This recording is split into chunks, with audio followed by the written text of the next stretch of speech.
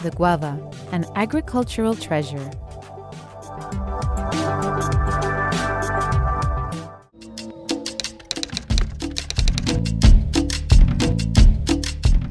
We find ourselves at the guava plantation, Psidium guajava.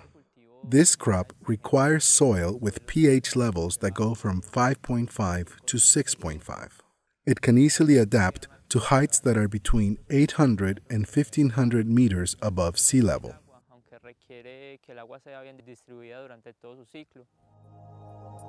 It's not demanding when it comes to water, although it does require water to be evenly distributed throughout its cycle. It needs six to six and a half hours of light.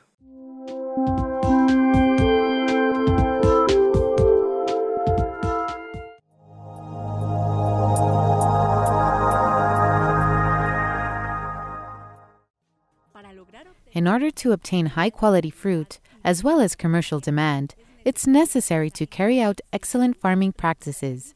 Let's find out what the guava fruit cycle of production is, and also the necessary care that must be given in order to attain a successful crop. In order to expand the crop, you first need to choose a great quality fruit tree. In that case, you graft an ICA1 pattern in the shape of a pear, a guava pear.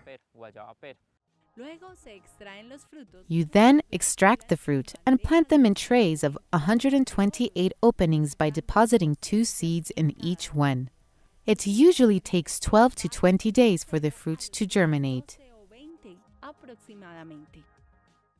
At day 20 or 25 after germination, the plants are then replanted into bags with measurements of 30 centimeters deep and with a diameter of 8 to 10 centimeters long.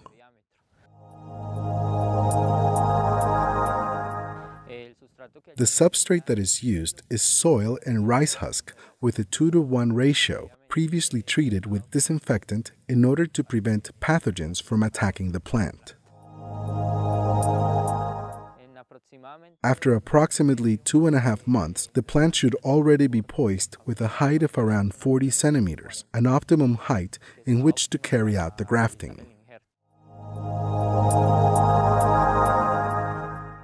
In order to do the graft, one must make sure that that area of the plant, which is around 30 centimeters big, that the stem isn't too woody nor too unripe, but with a cinnamon color. This is the ideal state in which to perform a graft. We're going to proceed in looking for buds that are in optimum conditions in order to do the graft, because not all the shoots have the buds we need to do the graft.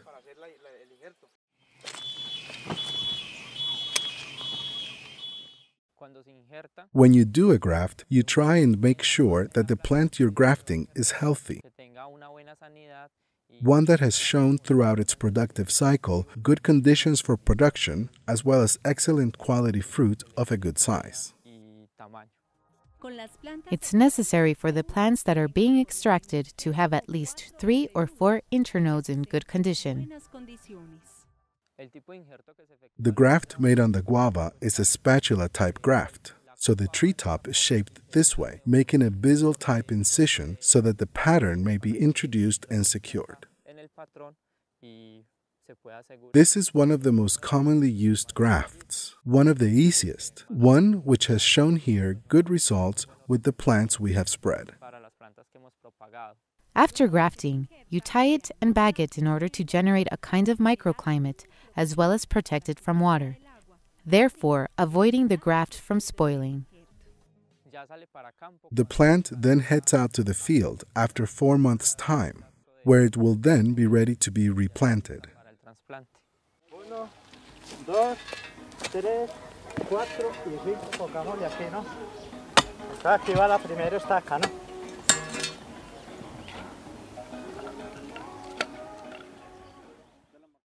Once the plant is ready to be replanted, the process that must be carried out before is making sure to find the right place, which is why the lot must be traced.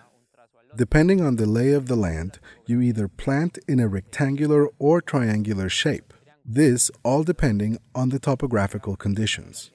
To plant in a square, it's enough just to do a trace using string, and wherever the strands cross each other will be the place to plant the tree. The average distances are either 6 by 5 or 6 by 6 so that the plant can have enough space to properly develop its top.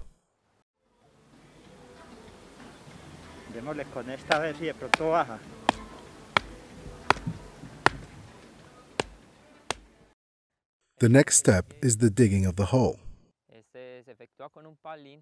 This is done with a shovel with which you dig a hole that is 20 centimeters wide by 30 to 35 centimeters deep.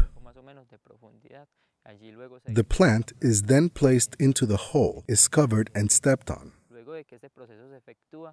After the process is finished, you place a plank to one side and tie a stake to the plant. You tie it to the plank to prevent the wind from breaking the stem, which at this point is still very weak. After replanting the tree, you must start pruning labors such as phytosanitary pruning and formation pruning. Phytosanitary pruning consists of eliminating all the dry and diseased branches from the plant. Síntomas de enfermedad. Que es quitarle todas estas ramas secas. Remove all the dry branches from the tree because they harm the tree, filling it up with moss and vines of all types. Enredaderas de diferentes clases. Entonces aquí tenemos una enredadera Here we have a vine that sucks away at the sap. We should also eliminate all the parasitic plants that attach themselves to the tree because they bring no benefit and absorb all the nutrients. Dejan de absorber los nutrientes y no dan ningún beneficio para ellos. Look here.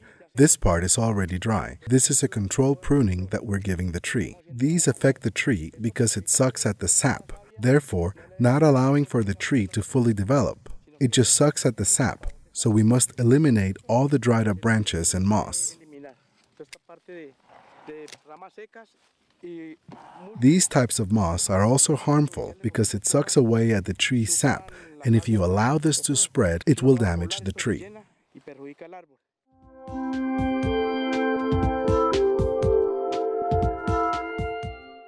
The third pruning that takes place is the formation pruning. This pruning is carried out in order to facilitate all the labors that will take place in the future, such as harvesting and fumigations. See, here we're doing a formation pruning so that the tree is kept structured and uniform, making sure one side isn't heavier than the other or that one branch isn't much longer than the others. So we're making sure we get that uniformity. That's the key to formation pruning.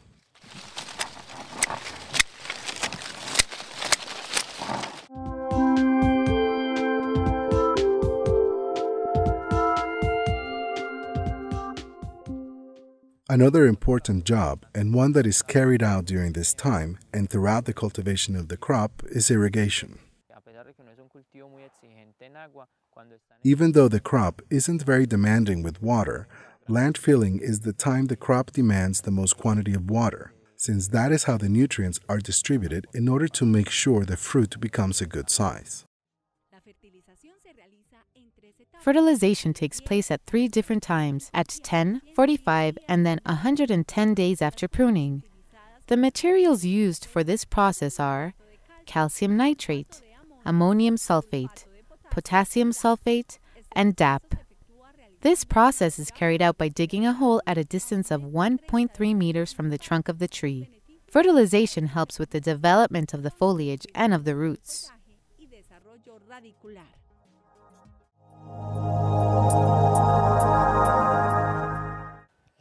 The main pests affecting this crop are mite, bean leaf webworm, roundworm, and weevil.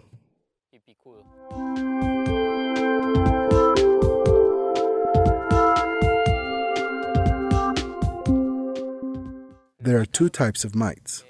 The Eriophyid mite is in charge of damaging the crown, scratching along as they suck out the sap, preventing further development.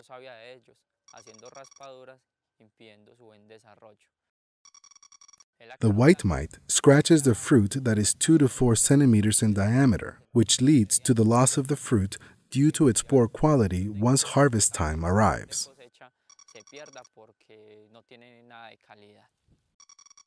Thirdly, we have the ringworms. The ringworms attack the roots directly. They prevent the plant from absorbing the nutrients, therefore causing the leaves to fall, as well as turning them a copper red. They also produce chlorosis, ultimately causing the death of the plant. In fourth place, we have the weevil, a pest that harms the fruit or lays eggs on top of it. When the egg hatches, the larva starts eating the fruit on the inside. Afterwards, the larva comes out and finishes its cycle on the ground. Lastly, we have the bean leaf webworm. It is responsible for sticking the leaves on the crown together, the tenderest leaves. While it does this, it eats the foliage and prevents the plant from having an optimum development.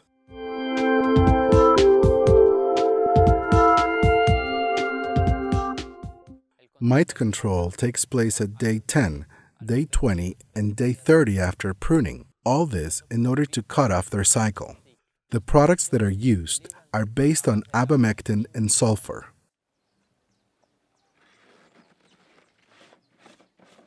For the control of the weevil, fumigations using entomopathogenic fungi, Metarhizium and Beauveria bassiana are carried out.